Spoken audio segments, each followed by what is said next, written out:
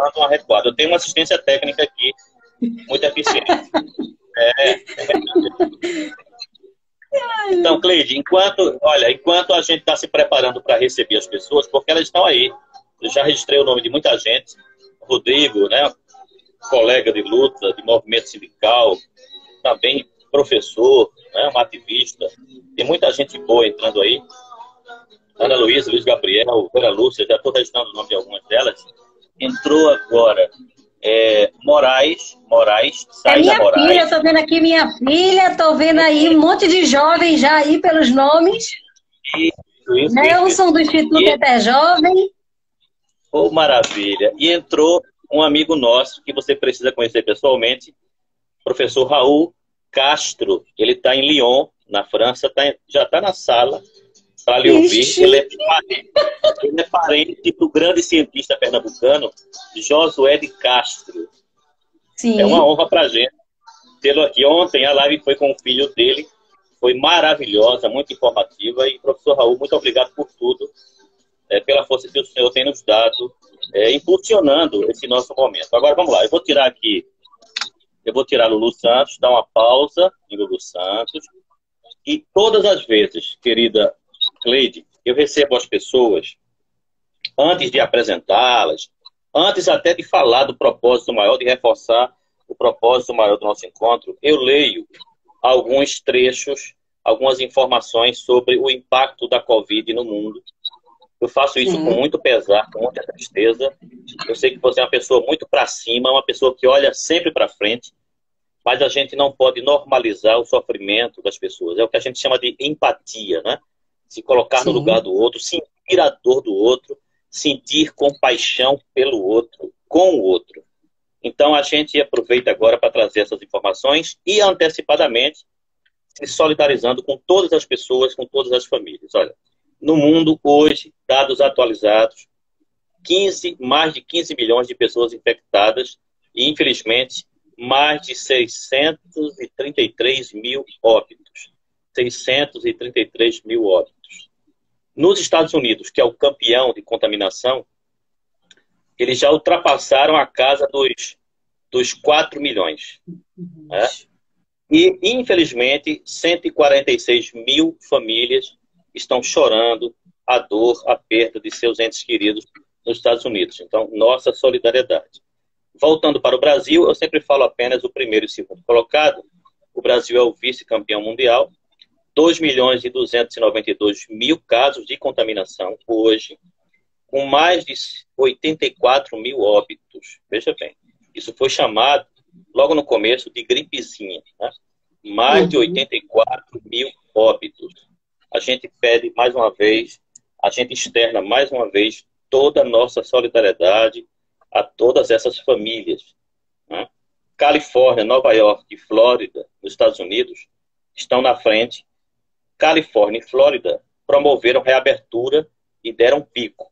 No caso do Brasil, São Paulo, Ceará, Rio de Janeiro.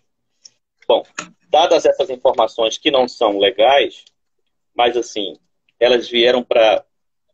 Infelizmente, essa pandemia impactou demais a vida da gente, é, a vida de todos nós, e muito, com muita força, Cleide, a, a vida dos jovens, a vida dos estudantes, a vida das pessoas que estão construindo o futuro. Agora, para quem não te conhece, é, eu não gostaria de falar sobre a sua biografia.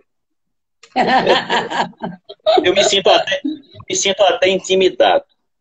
Eu gostaria que você se apresentasse, tá certo? Falasse da sua formação e da sua opção de vida inicialmente, para depois a gente começar no tema. Com a palavra, Cleide Moraes. Então, Luiz, eu primeiro também quero te dizer da importância, né, do carinho que eu tenho por você e da importância da gente aproveitar o tempo para conversar e trazer esses assuntos para dentro da, da situação, das famílias, dos momentos que a gente está vivendo. E é um momento muito importante que eu compartilho com você e com todos que estão nos assistindo nessa live. É, eu sou uma educadora, de paixão. Minha formação é serviço social. E eu sempre fui apaixonada por educação, porque eu nunca entendi o serviço social que pensa a pessoa na sua integralidade, fora do, da escola como espaço de construção.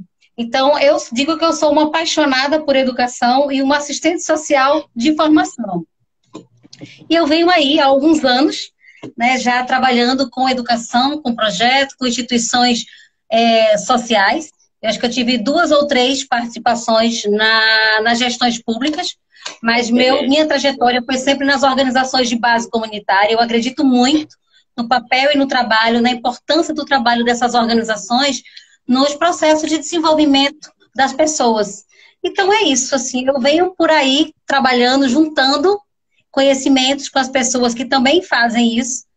E eu chego no Instituto Interjovem, já, já tenho trabalhado com o Interjovem já há quase 15 anos. Foi uma paixão que eu tive oportunidade de conhecer e me aprofundar mais.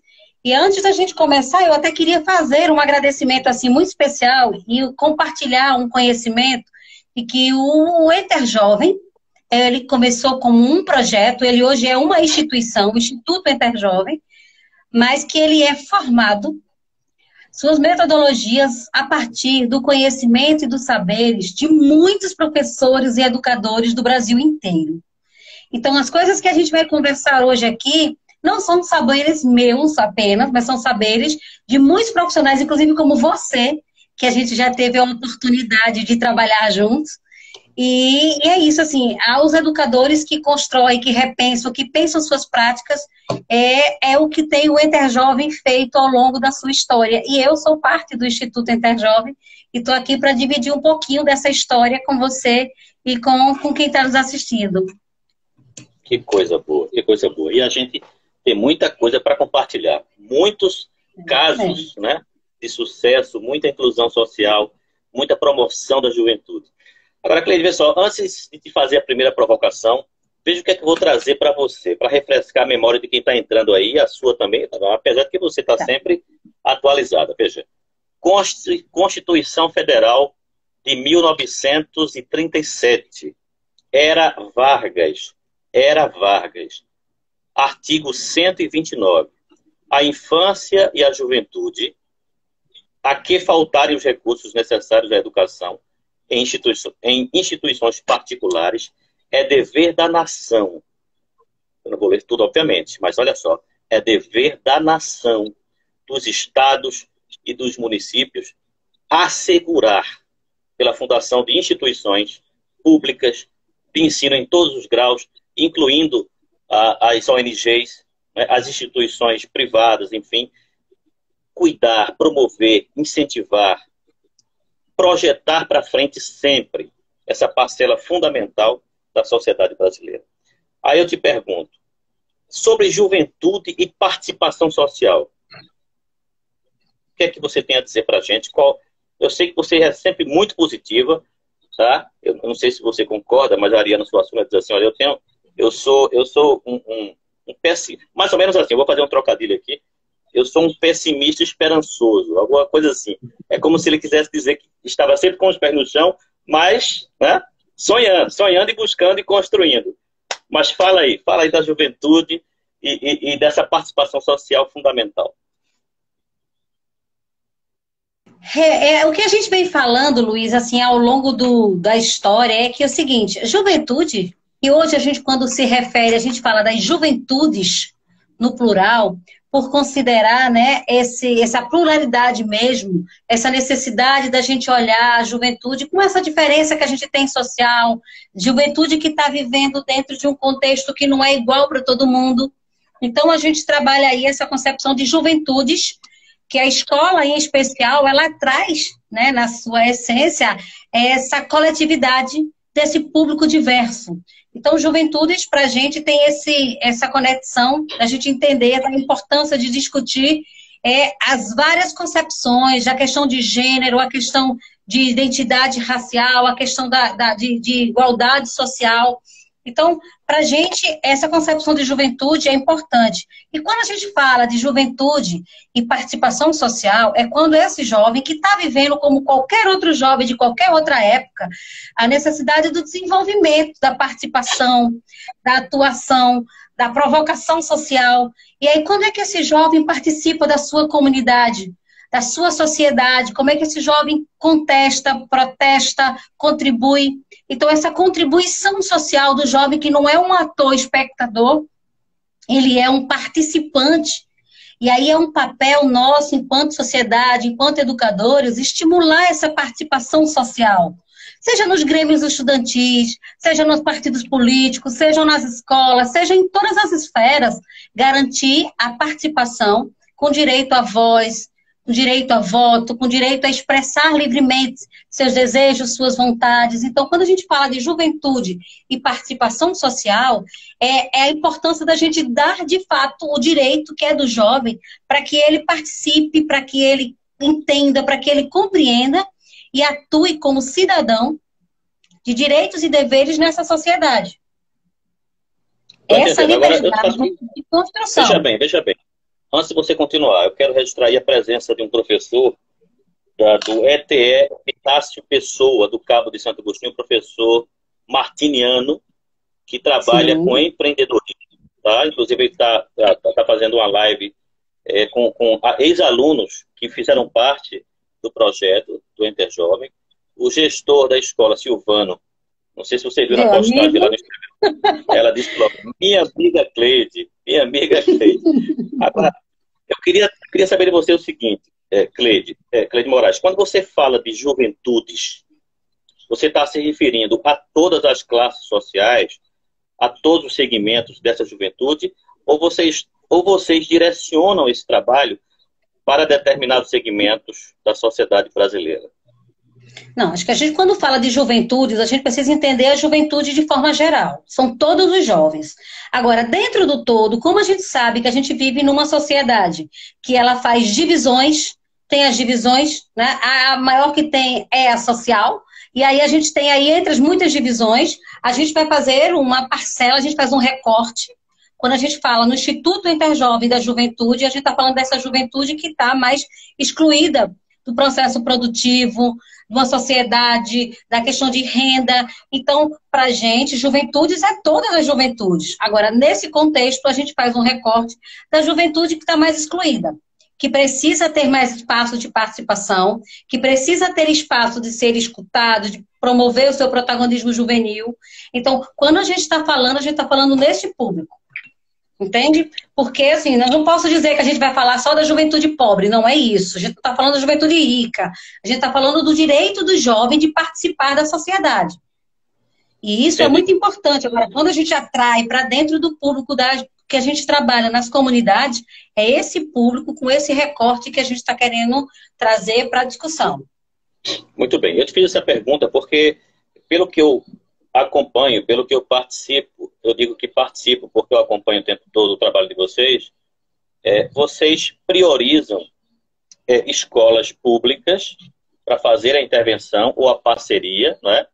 e dentro da escola pública vocês procuram trazer para a, a inserção social, né, digamos assim, é, determinados segmentos. Aí eu gostaria que você dissecasse, explicasse um pouco mais isso, porque eu acho que ao fazer isso, de uma certa forma, vocês cumprem a Constituição Federal Brasileira, o que muitas vezes entes ou pessoas públicas que têm o dever de, de, de executar determinadas políticas não fazem.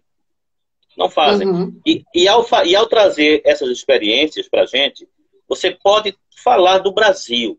Porque eu sei que o trabalho de vocês não está circunscrito a Pernambuco, mas as experiências que vocês vêm desenvolvendo ao longo desses anos todos, em vários estados, obviamente aqui no Brasil. Agora, o, acaba de entrar aqui o professor, é, o professor, deixa eu buscar aqui o nome dele, e talvez você não conheça, aí eu faço questão de registrar, ele é, ele é membro, professor Ricardo, ele é membro, Ricardo Jorge, ele é membro da Academia Cabense de Letras, tá? e ele tem acompanhado com muita atenção essas nossas lives. Eu agradeço imensamente a presença de todos. Todo mundo aqui é muito bem-vindo.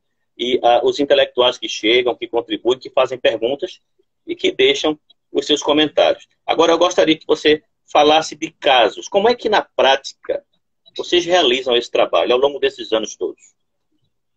Então, o, o projeto Interjovem é um projeto que fala muito de empregabilidade, empreendedorismo e cultura, inserção de jovens no mundo do trabalho. E aí a gente busca implementar esse projeto em parceria com organizações comunitárias, escolas públicas, porque a gente elenca esse público como um público necessário para poder trabalhar o desenvolvimento seu e da comunidade. Então, os projetos são implantados nas comunidades onde existe uma maior vulnerabilidade, uma necessidade. E aí a gente busca fazer parceria com gestores das escolas que queiram, porque esse é um projeto que precisa ter o, o, querer o, o, propósito também da gestão da escola, dos professores. Então, são projetos que são implantados em escolas e organizações que oportunizam jovens das camadas das, das comunidades mais populares. A gente também busca incluir o jovem, aquele jovem que às vezes a própria escola diz, mas esse menino não quer nada com a vida, ninguém, ele não quer nada, ninguém não tem nada com esse menino que a gente passa que vai valer a pena. E a gente acha muito importante incluir exatamente esse jovem que está na margem da vulnerabilidade maior. Então, para a gente é importante levar para dentro da escola o diálogo de como a gente poder trabalhar essa inclusão, o fortalecimento da capacidade de empregabilidade, desenvolvimento eh, educacional desse jovem, num conjunto com professores e gestores. É um projeto que a gente não entra na escola para fazer um trabalho. É um projeto que a gente compartilha com a escola a construção de um projeto. Então, é, é planejado com o gestor, com os educadores e com os alunos. E aí a gente começa a desenvolver, para a gente é muito importante conhecer qual é o território em que essa escola se localiza. Quem é o público desta escola? E o primeiro trabalho que a gente faz é essa identificação junto com a escola e depois com o aluno, para ele entender o seu território, o que, que ele faz, por que, que aquela comunidade é assim, por que, que ele frequenta aquela escola, o que é que ele, na verdade, não gosta ou gostaria de melhorar naquela escola. Porque a partir daí a gente começa, a gente sabe bem quem é o público, a gente consegue desenvolver com eles o que é que pode ser feito para desenvolver um projeto que inclua, que desperte a participação, o interesse e promova o desenvolvimento não só do jovem, mas também da escola e da comunidade. É um pouco disso que o Interjovem vem fazendo com é, escolas e organizações em Pernambuco. A gente já desenvolveu esse projeto com seis estados do Brasil e hoje a gente está desenvolvendo, especialmente em Pernambuco e no Rio de Janeiro, com professores, especialmente com professores da rede. E aí eu até aproveito aqui agora para fazer um agradecimento à Secretaria de Educação do Estado de Pernambuco e à Secretaria de Educação do Rio de Janeiro, porque eu já vi que tem colegas do Rio de Janeiro aqui também acompanhando a nossa live. E aí é isso, assim, o Entec Jovem é um projeto de promoção e fortalecimento das juventudes na sua capacidade de desenvolvimento, seja para o mundo do trabalho, seja para a vida. O que a gente faz é um pouco isso. E aí a gente faz isso através de professores, de educadores sociais e do próprio aluno quando ele se torna protagonista para poder contribuir com outros alunos da escola. Fica claro para você dessa forma? Tá claríssimo, tá claríssimo. Agora eu queria, eu queria, eu acho, eu acho que o que as pessoas querem saber, aquelas que estão aí nos ouvindo. Inclusive, eu quero agradecer a presença da professora Eliane, do município de Escada, uma grande professora, hoje aposentada, uma pessoa maravilhosa. Eu queria saber como é que vocês fazem para motivar professores, porque, veja bem, eu vou, eu vou trazer uma, um, um, relato aqui que é, é real, é real, é real, é real. Às vezes, na escola pública, a gente encontra muita dificuldade para executar o nosso trabalho, eu estou falando dos profissionais de educação, e isso vai provocando um certo desencanto né? e a gente uhum. não consegue sentir motivação. A palavra motivação é o um motivo para agir, né? Motivo para agir. E, além disso, o público escolhido. Olha, quantas vezes a gente na escola, a gente não carimba o aluno e diz assim, ó, esse aqui é um caso perdido. Esse não quer nada. Esse não vai para frente. Esse não tem perspectiva. E aí vocês abraçam essa causa eu sou testemunha disso, é de vocês conseguirem transformar a autoestima dessas pessoas. Agora eu queria, eu não sei, eu queria saber que tempero é esse? Como é que vocês fazem? Que pedagogia é essa? É que, é, que eu acho que é essa muito. A gente consegue agregar e trazer para dentro né, a, a vida que está fora da escola, que é a vida do dia a dia dos jovens, quando a gente consegue compreender o tanto de desafio que esse jovem precisa superar para poder estar na escola. E às vezes ele transforma isso com toda essa falta de vontade, de interesse, não quero nada. E aí cabe a gente, como educadores, encontrar uma forma né, de não deixar essas desistências se perderem ou a gente não se acostumar com os fracassos. Então, o que a gente foi pensando nas nossas práticas, né, de fazendo, revendo, avaliando e escutando muitos educadores, traz um pouco do que você diz. Ao longo do tempo, dos desafios, o professor que recebe pouco, o professor que trabalha em duas, três escolas, o professor que não tem né, um incentivo maior para o desenvolvimento do seu trabalho, que às vezes é uma remuneração que, nos envergonha. Né? No Brasil, falar quando o educador, é, o tanto que ele não é valorizado. E o que a gente faz é apenas é, abrir um canal de diálogo com os professores para que a gente possa olhar a juventude com outros olhos. Olhar aquele jovem que está em sala de aula no seu contexto social, familiar, comunitário, o que é que faz com que esse jovem vá perdendo esse encanto? E o professor, o que é que o professor precisa fazer para poder acompanhar, para não deixar, e o que a gente chama de acompanhar um a um. Quando a gente pensa na escola, a gente traça com o gestor da escola estratégias para a escola. Como é que essa escola vai não só receber esse aluno como um aluno matriculado, mas como é que essa escola, de fato, é, passa a se sentir responsável também pelo sucesso de cada um desses alunos.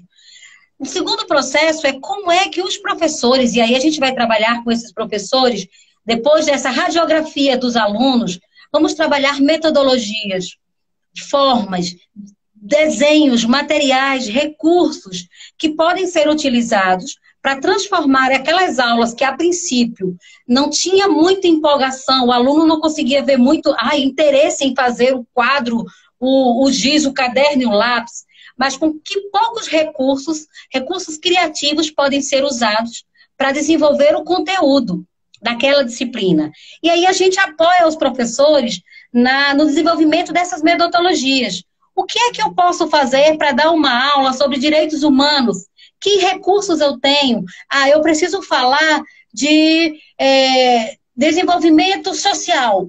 Que, como é que o aluno tem a ver com isso? Como é que ele se vê nesse conjunto? Então, o que a gente faz de melhor, professor, que eu acho que é melhor, porque eu sou muito apaixonada por isso, é como é que a gente consegue aproximar esse professor da história de vida desses alunos, e aí ele, ele olha para suas turmas e consegue identificar um a um dos seus alunos com a história que esse aluno traz para dentro da escola.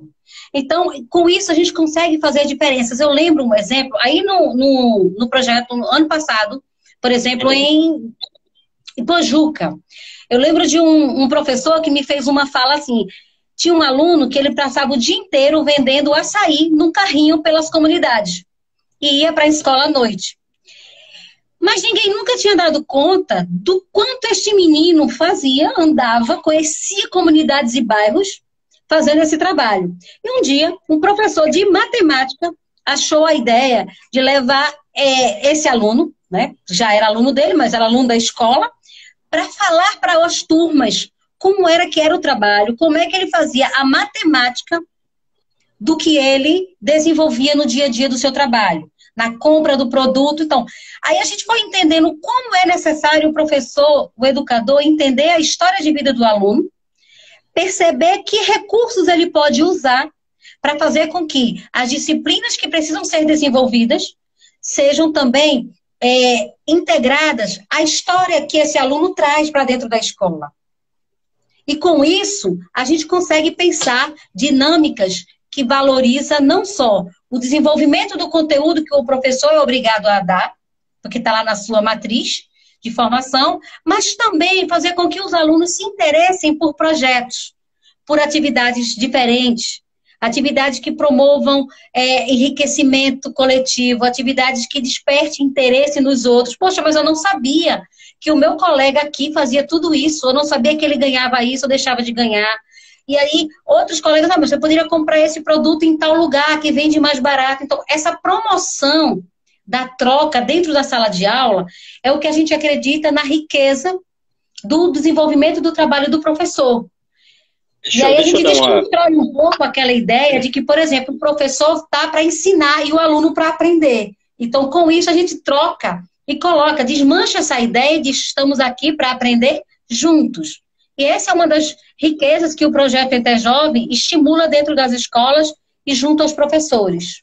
E uma coisa muito interessante, Cleide, eu acho que o professor Martiniano, eh, Martiniano os professores, eh, a professora Eliane, é, os, Ricardo, os professores que entraram aqui, o professor Raul, uma das coisas que vocês fazem que eu acho super interessante né, é, é que vocês não teorizam sobre isso. Vocês uhum. fazem isso na prática. Eu acho isso super legal, porque nós estávamos acostumados na rede estadual na rede, e algumas prefeituras a receber informação num telão, num data show, dizendo uhum. que a gente tem fazer. Olha, façam isso, façam, sejam criativos assim, assim, assim, assim, assim. E aí eu sentia, não sei se é isso que os colegas também sentem, eu saía vazio desses, desses encontros de informação. Uhum. No, nesse encontro com vocês, vocês colocam a gente para produzir, para fazer as coisas, botando a mão na massa, e isso surte efeitos assim extraordinários também na cabeça desse profissional, não é? Uhum. É, eu acho que é isso, é o caminho de estimular, estimular essa criatividade, que ao longo do tempo a gente vai perdendo. A gente vai aprendendo a ficar, a gente vai ficando mecânico. Eu sei fazer o objetivo, eu sei desenvolver a metodologia, mas a gente não, até por falta de tempo, às vezes, a gente não se permite muito. Então, é. primeiro, a gente acredita numa formação continuada. Esse educador não pode receber uma formação e sair dali pronto para ir desenvolver. A nossa ideia é de que esse professor, ele precisa ir a refazer nas suas práticas. E refazendo com criatividade, com, com recursos. Que material eu posso usar para fazer isso? Trocando com outros professores. Porque essa dinâmica de, olha, eu fiz assim, deu desse jeito, se eu fizer assim, deu melhor. Então, essa prática do dia a dia, de formação continuada e exercícios práticos e vamos fazer um planejamento, mas vamos fazer um planejamento usando recursos diferentes. Como é que eu posso explorar o português, a matemática? Que textos, que músicas eu posso usar? Que dinâmica de teatro eu posso estimular? Porque os alunos gostam disso. Na verdade, nós fomos jovens, e eu ainda me considero, e você também, eu sei que sim. E a gente, ninguém quer sentar numa sala de aula sobre quatro paredes e ter apenas o recurso do professor para ensinar. Então a gente acredita muito que essa escola, ela ultrapassa as barreiras do limite físico e ela visita os espaços, ela conhece outros lugares. É um pouco do que o Paulo Freire dizia, que quando a minha visão muda, o meu mundo muda. Então a gente trabalha muito essa lógica com os professores de que eles podem estimular recursos muito amplos para buscar esse interesse do aluno. E o que a gente faz nos processos de formação com os educadores e com os alunos é muito isso: é construir, é fazer, aprender a fazer fazendo. Que é, não existe fórmula de bolo pronta. Porque uma, um exercício que, por exemplo, pode acontecer e dar certo numa sala de aula, na escola A, ele com certeza pode não dar do mesmo resultado na escola B. Então, é preciso pensar um projeto escola a escola, professor a professor, turma a turma. Então, uma, o que a gente faz é olhar para o educador com todo o seu respeito e considerando seu tempo, seus limites, e estimular esse refazer pedagógico. Criar instrumentos e recursos que dê ao professor condições de não só é, criticar ou não conseguir fazer, ficar frustrado, mas ao mesmo tempo dizer assim, poxa, eu não sabia que eu podia fazer com isso. E o que é melhor, professor, é fazer com os alunos, que esse é um outro processo importante que a gente está estimulando os professores, já é uma prática antiga, mas hoje a gente sabe o quanto é importante, que é apenas o professor ele não se preocupar de ter que fazer tudo sozinho. Os alunos querem fazer junto. Então, esse processo de troca né, do conteúdo que vem do professor, que se transforma no aluno, que eles apresentam para a turma com outras linguagens. Então, a gente vivencia muito a linguagem do, da cultura, da arte, como um elemento fundamental para despertar o interesse. Então, música, teatro, dança, às vezes uma simples letra de música dá uma aula maravilhosa. Se o professor tiver né, antenado, se a gente conseguir colocar aquele no planejamento dele, ele pode explorar isso em diversas disciplinas.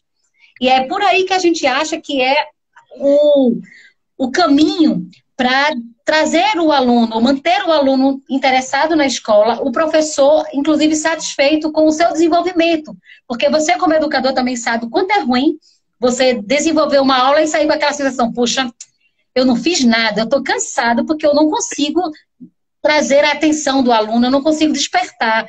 Então, o que o Interjovem vem fazendo é isso. Então, a gente pretende que a gente possa dialogar com as secretarias de educação, que esse projeto consiga ser mais amplamente discutido entre os educadores e as escolas possam construir seus projetos envolvendo o corpo docente e os discentes dos Muito projetos. Bom.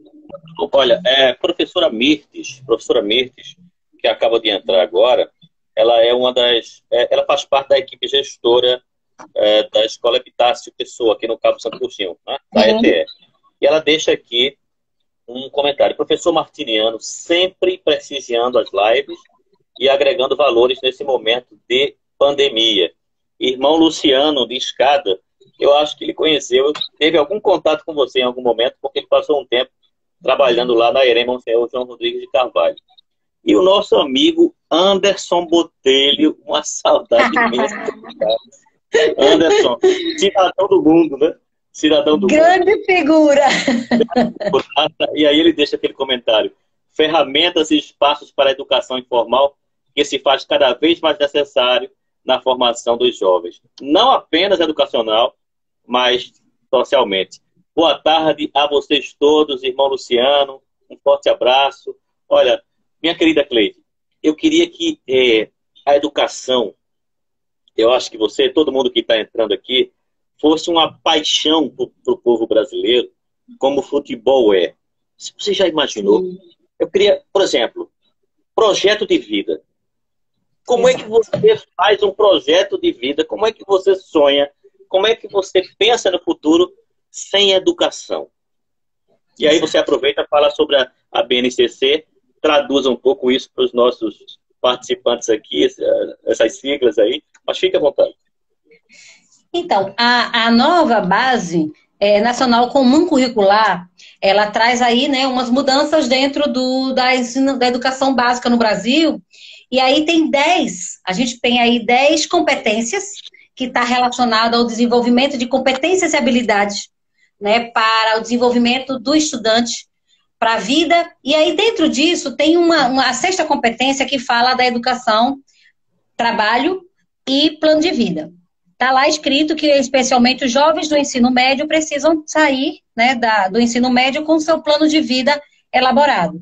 Então, é uma coisa que a gente já vem fazendo há muito tempo, trabalhando com os jovens, essa construção do seu plano de vida. Porque quando eu não sei para onde eu vou, qualquer caminho serve. Essa frase já é né, bem conhecida. Então, a gente vem, quando a gente trabalha a identidade desse jovem, quem eu sou, é, onde eu pertenço, que território eu vivo, onde é que eu estou aqui nesse contexto e o que é que eu quero para minha vida, porque o que se pensa é desenvolvimento, educação e trabalho. O governo federal fala assim: ah, vamos começar a pensar no trabalho. Os jovens que saem do ensino médio precisam começar a pensar no trabalho. Ok, também precisa. A gente só tem uma preocupação de dizer o seguinte: os jovens precisam pensar o seu projeto de vida. Infelizmente, a gente coloca um peso sobre a classe mais popular, que os jovens já têm saído do ensino médio pensando só em trabalho. E a gente traz aqui uma, uma, uma contestação de pensar o seguinte: o jovem precisa pensar também em querer continuar estudando. Infelizmente, a gente vive num contexto que o jovem da camada popular, ele precisa trabalhar e ele nem sempre consegue ir para a universidade. E quando ele consegue ir, ele tem que ir para a universidade, ir para o trabalho e fazer aquela jornada dupla, tripla, para poder sobreviver. E a gente reconhece, o trabalho é essencial, é fundamental. Mas nós, do Instituto Enter Jovem, pensamos que esse jovem também tem direito de dizer, eu não quero trabalhar agora, mas eu gostaria de continuar estudando. Eu quero isso. E às vezes isso não é considerado. Se considera como se todos os jovens precisassem trabalhar. Isso é um fato. Que aí a gente precisa ouvir os jovens. Quando a gente fala no projeto do, de vida, vem aí a primeira etapa que é: vamos escutar o que é que esse jovem quer, como é que ele vê, o que, é que ele pensa desse mundo do trabalho, como é que é o projeto dele, como, também como família, no contexto doméstico, porque às vezes é isso, o pai, a mãe trabalham, o jovem pode ter condições de continuar estudando. Às vezes não tem, a condição é tão grave que ele precisa se correr para trabalhar, porque tá, a situação está muito complicada em casa. Então, a gente sempre olha que caso a caso tem que ser visto de forma é, pessoal, individual. Não dá para a gente dizer que todo jovem, a escola pública, tem que trabalhar nem dizer que todos os jovens estão numa condição igual que não dá. Então a gente sabe que a maioria da população, dos jovens, a partir dos 16 anos, eles precisam, né, eles buscam o trabalho porque não tem quem, que ajude mesmo. E eles têm que ser os apoiadores de suas famílias. Aí o projeto de vida que a gente desenvolve é, vamos identificar o que trabalho, quais são as oportunidades que esse jovem tem, o que, é que, os, o, que o mercado do trabalho está oferecendo. Hoje, por exemplo, dentro dessa nova né, é, reformulação do trabalho, trabalho que precarizou muito mais as relações, como é que esse jovem pode se inserir no mundo do trabalho? Qual é o projeto que ele tem para, de repente, ir para a universidade, continuar a estudar um pouco mais e acessar a universidade para conseguir ter uma condição de vida, para não ficar com os subempregos? Porque aí, de novo, a classe média, que está nas escolas melhores, que tem condições de continuar estudando, ocupam os melhores postos de trabalho e os jovens da classe né, é, popular ficam com o subemprego, fica com os empregos mais precários. E isso para a gente é uma discussão que precisa acontecer com os jovens juntos. Então, fazer o plano de vida, ele precisa definir um pouco, conhecer para definir o que, é que ele gostaria de fazer. E uma coisa que a gente fala muito, Luiz, e eu falo isso em todas as formações, em todos os lugares que eu estiver com professores e alunos, é a importância da gente estimular o sonho. A gente vai percebendo que muito cedo os jovens perdem o sonho, a capacidade de sonhar com coisas melhores. Assim, ah, eu nunca vou ter isso mesmo, eu não vou ter, eu nunca vou ser isso mesmo, então eu desisto. E eles acabam aceitando qualquer coisa porque eles se limitam. Porque a gente sabe que a maioria desses jovens que estão na escola, na escola pública, ele está com autoestima baixa, é o jovem que o pai, a mãe ou quem seja tem uma condição difícil de trabalho, de sustentabilidade da família. É o jovem que carrega esse, esse peso. Então, quando a gente vai falar de plano de vida, não adianta a gente falar assim, ah, eu quero ser um advogado, trabalhar como advogado. Como, qual é o investimento que você está fazendo hoje para você ser um advogado? Se você quer ser um professor, qual é o caminho que você está fazendo para ser professor. Então, a gente vai trazer para dentro da roda, da conversa com o aluno, para que ele entenda qual é o, o, mercado, qual é o projeto, como é que pode se dar isso, qual é o investimento que ele tem que fazer a pequeno, médio e a longo prazo. Eu fico muito feliz hoje quando eu chego em determinado lugar. Outro dia eu cheguei numa agência, é, você vai dizer assim, ah, é um excelente emprego? Não sei, mas foi, com, foi mérito dele. E eu cheguei numa agência de um banco e um jovem estava lá e ele disse: Eu conheço você. Eu fui aluno do Enter Jovem. E eu fiz um concurso e eu estou trabalhando aqui hoje. Sabe como isso me deu assim? Caramba, gente. É o que a gente está falando de estimulações. O jovem pode querer o que ele puder, o que ele quiser, desde que a gente diga: vamos lá, vamos tentar, vamos conhecer.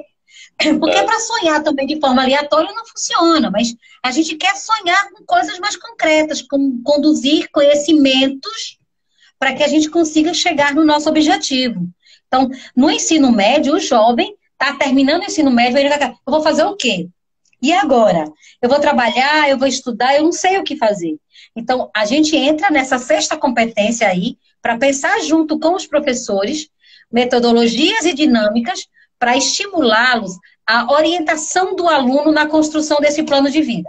Isso é o que a gente tem feito hoje com professores no Rio de Janeiro.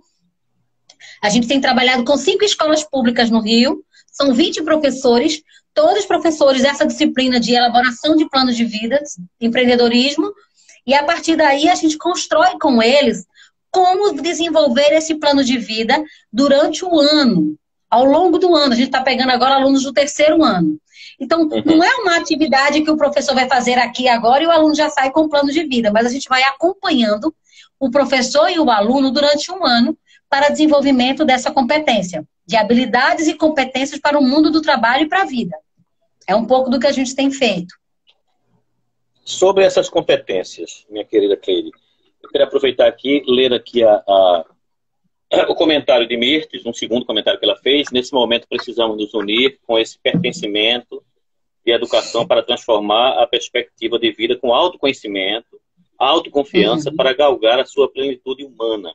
E Anderson, mais uma vez, para que possam experimentar novas formas de aprendizado e vislumbrar espaços que somam nesse processo de formação. A gente recebeu a visita também nesta sala. Obrigado, Lima, pela entrada. É, uma, uma jovem, uma, uma jovem de Campina Grande, Flávia. Tá? Um abraço para você, Flávia. Agora, é, eu quero colocar uma preocupação para você refletir conosco, Cleide. A famosa inclusão digital. A pandemia veio trazer para a gente um dado alarmante. Um dado alarmante, infelizmente. Né? Um, de, cada, uma, de cada quantidade de, de brasileiros que acessam, tem um percentual importante que não tem acesso. São quase que analfabetos digitais. E tem alguns que entram que são funcionais, que uhum. utilizam o celular no máximo para, para uh, usar as, as, redes sociais. As redes sociais né? A preocupação é a seguinte: como é que a gente vai incluir essas pessoas num mercado cada vez mais competitivo, duro, e agora com a pandemia, e agora com a pandemia, muito restritivo e seletivo. Porque Infelizmente, infelizmente, muito obrigado, Lima. Muito, infelizmente, o processo pandêmico veio acelerar né, o uso das novas ferramentas, das novas tecnologias. Quais são as perspectivas para a gente, enquanto profissionais também, porque os professores estão sofrendo, viu? Sim, muito. Tem muito. colegas que, que estão com dificuldade para preparar uma aula em PowerPoint e colocar no Google Meet e garantir a atenção do aluno virtualmente. Olha uhum. o tamanho do desafio que estamos vivendo, hein? Eu acho que esse é realmente o grande desafio, né? Acho que a gente está falando no contexto de educação, educação tecnológica, o uso dos recursos é, é um grande desafio mesmo, assim, especialmente para é, para o Brasil. Vou pegar esse contexto de Brasil, porque em nível de mundo, eu acho que a gente já está bem atrasado no uso dessas, desses recursos, dessas tecnologias. Fruto, inclusive, de, um de uma falta de investimentos. Porque quando a gente fala de acesso, muita gente pensa que ter acesso é apenas ter um telefone. Que hoje, se você fizer olhar os dados, a gente, todo mundo tem telefone, e a questão é: ok, eu tenho um telefone, eu me sinto incluído? Não, o telefone apenas te deu um acesso. Mas a, o conhecimento não chegou. De novo, a gente volta. A, a gente refletia isso com professores no Rio. Até um tempo atrás, era uma eterna briga dos professores com os alunos por causa do uso do celular dentro da sala de aula. É Hoje é inversão. Hoje os professores precisam que os alunos acessem para poder é. acompanhar suas aulas. Vejam como a gente deu no que você falou de acelerada né, no processo com a pandemia. E é um desafio mesmo. Assim, acho que a gente ainda não tem nenhuma receita certa de que assim funciona. O que a gente entende é que é preciso trabalhar a, os recursos didáticos e os recursos tecnológicos dentro da sala de aula, seja com o professor, seja com os alunos. Nós que trabalhamos de, com preparação para o mundo do trabalho, para a vida, a gente tem trabalhado muito como é que o aluno já vem há um tempo isso, como é que os alunos usam as redes sociais, que eles também amam, para buscar acesso a informações que sejam fundamentais e importantes para o mundo do trabalho. E aí como elaborar o currículo, como colocar esse currículo na plataforma das empresas. Hoje, muitas empresas têm feito processos seletivos não mais presenciais, usando as redes. Então, de novo, nós voltamos com a importância de trabalhar com esse jovem não só o conhecimento digital, mas o conhecimento de exploração do conteúdo. Ô, Cleide, te atrapalhando um pouquinho, quer dizer que antes a gente treinava, ou, ou, ou melhor, a gente se preparava com os alunos fazendo entrevista para o mundo. Às vezes a gente fazia isso, um teatrozinho, e fazendo uhum. entrevista com os entrevista para emprego, para o primeiro emprego. Quer dizer que agora é. a, gente, a gente pode usar o Google Meet para promover Sim. essa entrevista.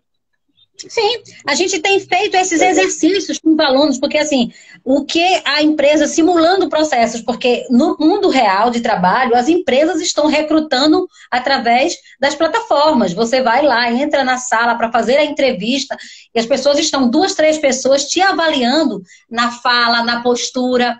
E aí, de novo, a gente volta. A gente fazia isso presencialmente com os alunos. Verdade. Agora a gente vai usar, pega o telefone, vamos dizer, olha, a gente vai lá, vamos simular aqui uma entrevista, o que é, como, como fazer, e de novo, lá, professor, a gente volta a informar, assim, a discutir que a maior dificuldade dos jovens esteve, sempre esteve, né, por muito no contexto de que tá na insegurança, a intimidez, a baixa autoestima, eu não sei se eu consigo, se eu posso, eu não dou conta. E aí a gente trabalhar muito, você foi um bom educador que trabalhou muito isso, é fortalecer essa autoestima, essa habilidade, estimular esse falar, esse fazer, para ele exercitar suas práticas. E aí, de novo, a gente volta. Hoje, quando você é jovem, a empresa diz: mande um vídeo falando, se apresentando quem é você. Eles ficam loucos porque eles não sabem fazer esse vídeo. E eles sabem tudo das redes sociais. Eles sabem botar, tirar, postar, seguir fulano ou beltrano, mas eles não sabem fazer. Então a gente hoje tem que aprender a trabalhar esses recursos. Eu até falei, e eu quero dizer isso aqui agora publicamente, o como eu admirei, e eu acho que você, como educador, se adaptou a essa prática que está sendo realmente um grande desafio para os professores. A gente tem acompanhado muitos professores com depressão, muitos professores adoecendo porque ele não consegue sair. Eu só sabia fazer daquele jeito. Isso aqui não é meu, eu não sei de tecnologia, eu não entendo. E aí eles acabam se sentindo é, fora, se sentindo incapazes, incompetentes, que não é verdade. Porque essa é uma tecnologia dessa geração mais nova.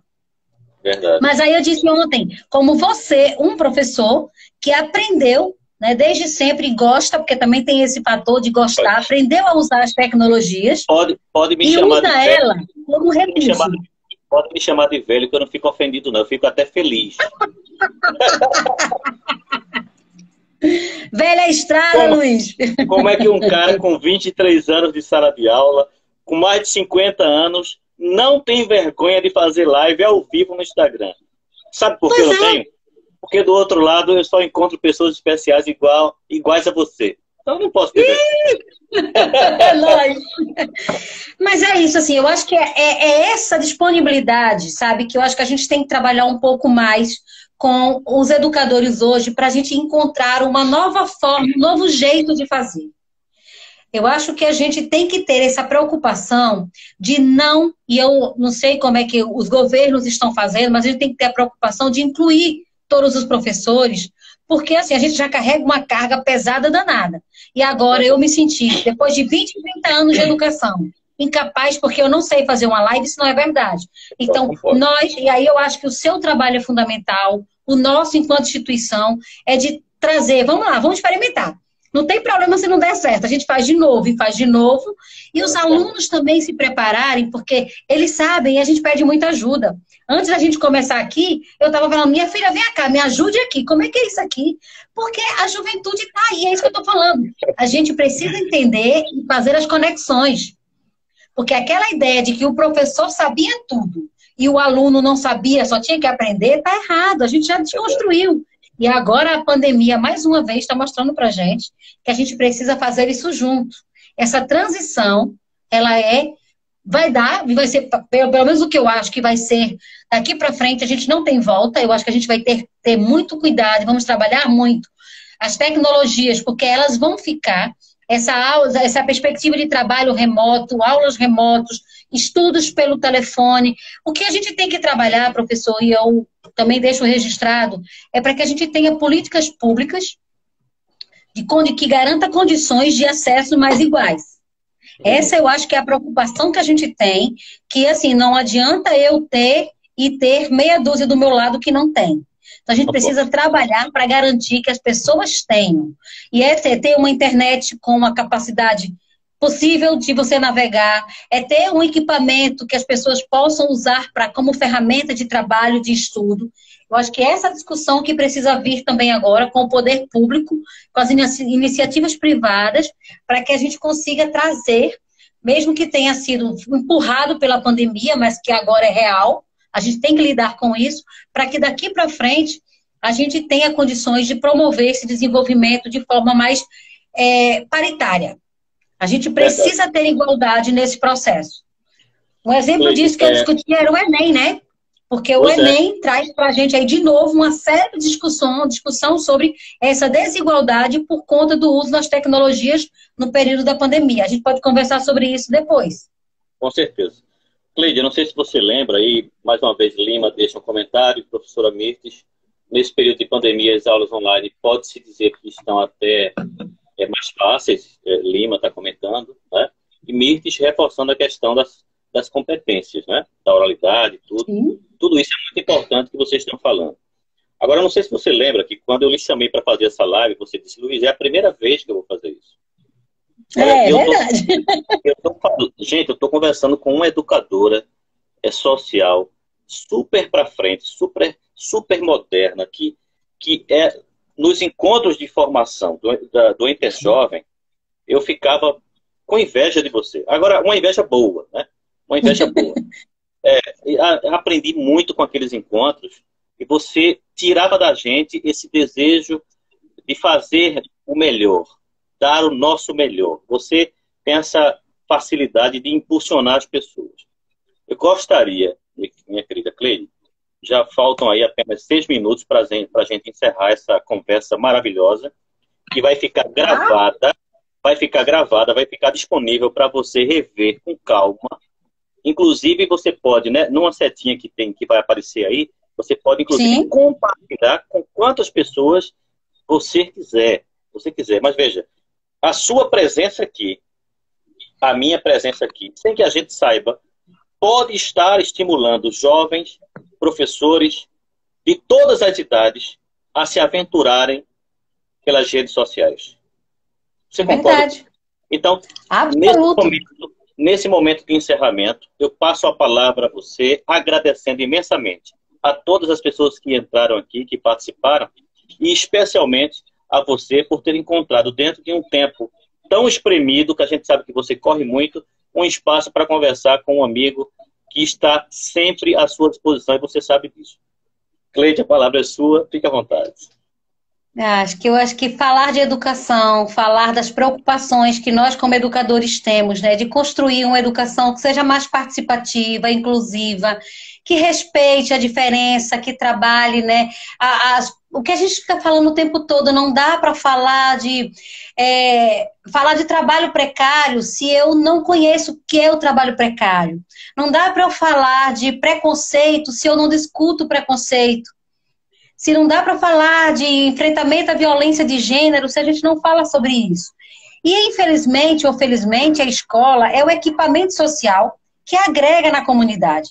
E aí a gente vai falar aí da angústia, do desespero, do anseio, da vontade, dos sonhos dos professores, que assim como você, eu e muitos, como a professora Mirth, que está aí, o Anderson e muita gente que está, né, que você falou aí de escada, que não desiste da educação. Não desiste de saber, exatamente, de saber que a educação não é um processo estanque, que todos os dias é um processo novo, que a gente aprende, que a gente reaprende, que a gente refaz. E aí eu, eu me alimento disso, professor. Eu falo assim, no período da pandemia, eu não. A gente passou a usar todas as reuniões e a gente, eu nunca usava o Meet para fazer reunião, a gente só fazia as reuniões presenciais. E a gente, é. e a gente teve que aprender a fazer né, é, o, o Meet. É, não, não é o Meet agora, não, agora vai ser o outro lá, o. Como é o nome? Tem outra, outra o plataforma Zoom, lá. O Zoom. O Zoom. Zoom. O Zoom. E vamos fazer live, vamos fazer reunião, e vamos fazer isso. Então, assim, a gente foi se obrigando a entender para fazer. E a gente vai fazendo e vai melhorando. Então, quando você me convidou, professor, live eu nunca fiz. Eu faço reuniões, mas vamos lá e vamos lá, vamos para live. Fui lá e eu acho que é isso. Acho que a gente trocar. E eu fico muito feliz pela sua iniciativa e apoio. E eu acho que a gente tem que conversar mais com outros professores para que a gente auxilie. Quando a gente vê encontrar um professor que está com dificuldade, eu acho que a nossa responsabilidade, que, que conhecer um pouco mais, é ajudar o colega. Eu acho Exatamente. que esse trabalho de formiguinha, de professor com professor, ele funciona muito. Então, eu fico muito feliz pelo trabalho que você está fazendo, né, de estar trazendo todos os dias um tema, uma discussão, um incentivo, uma provocação, para que a gente traga para esse dia a dia, que eu tenho ouvido, ouvido as pessoas falarem desse novo normal, e eu tenho ainda me recusado a falar desse termo novo normal, porque eu acho que a gente acaba se acostumando com muita coisa ruim. A gente se acostuma a chegar no posto de saúde e não ter médico, a gente se acostuma a chegar na escola e não ter professor, a gente se acostuma a não ter trabalho e arrumar qualquer coisa ou não ter nada. E, e eu acho que a gente não precisa se acostumar, sabe? A gente precisa viver esse momento, porque ele é difícil para todo mundo, mas a gente precisa encontrar formas, mas não se acostumar com as coisas ruins. A gente tem que desenvolver coisas boas encontrar novas formas de fazer e fazer melhor, mas a gente não se acostumar e não deixar as pessoas acharem que é assim mesmo, porque sempre foi assim e vai ser sempre assim. Então, deixo aqui o meu recado para todos os jovens do CAB, Pojuca, Moreno, Rio Formoso, que a gente já trabalhou por aí, para que esses jovens continuem pensando essa perspectiva de empreendedorismo, cultura, desenvolvimento empregabilidade, para que a gente não pare por conta desse processo de pandemia que a gente está vivendo, o desenvolvimento e a busca por conhecimento. Tem que usar as ferramentas, tem que buscar a tecnologia. Se não sabe, pergunta. Mas eu acho que essa é a riqueza que a gente precisa se fortalecer para passar junto por esse momento. Então, obrigada, meu amigo. Que eu digo para todo mundo que ele é um cidadão disfarçado de professor. Quem é professor Luiz? É um cidadão disfarçado de professor. Porque é alguém que está sempre questionando, perguntando, contestando, e é independente da gente morar em cidades diferentes, em país diferente, ele está conectado com a educação desse país. E eu admiro muito também, professor. Obrigada pelo convite. Olha, aproveitando, vou dar uma alfinetada que tem um, tem um pré-candidato aqui no grupo, o irmão Luciano. Se ele chegar, Sim. eu espero que ele cumpra as promessas que ele anda fazendo e assuma o compromisso com a educação, como deve ser, não é isso, Cleide? Exatamente. Ano de eleição, a gente precisa estar muito atento a não trocar né, votos por participação política. Acho que a gente tem que ter participação cidadã, consciente, política ativa, para que depois que passar as eleições a gente consiga ter uma comunidade melhor. Com Obrigada, certeza. Muito obrigado a todos vocês que entraram.